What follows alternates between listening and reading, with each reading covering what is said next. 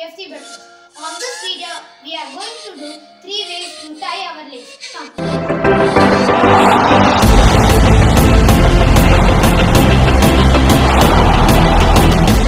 First one is one circle around the boot.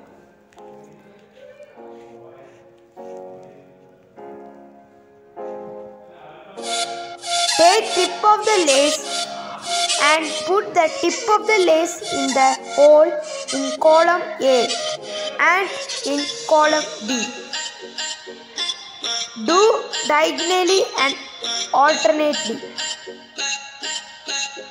This is most used by the football player and this is the best one because when we tie the lace around the boot, the boot bed get very hot. So when we hit the ball, the ball might go in power.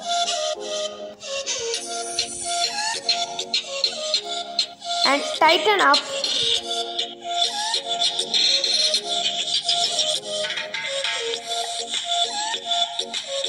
The outer foot of the lace should be very large and the inner foot lace should be very small.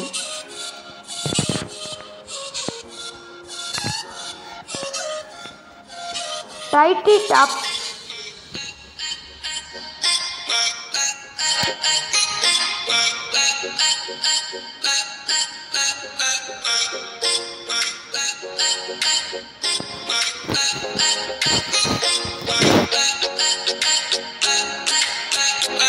Inner foot lace should be very small and outer foot lace should be very large as shown on this video. Take the large lace and one circle around the boot and tight it as shown on this video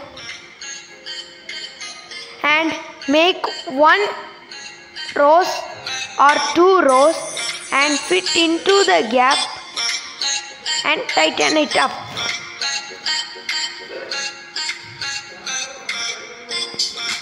Do it in both legs.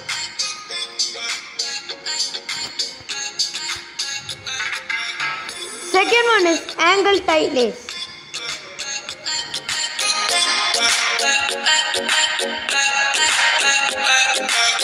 Take the same length of lace shown on this video. And tie tighten up and tie in the back ankle and tighten up and tighten up in the front ankle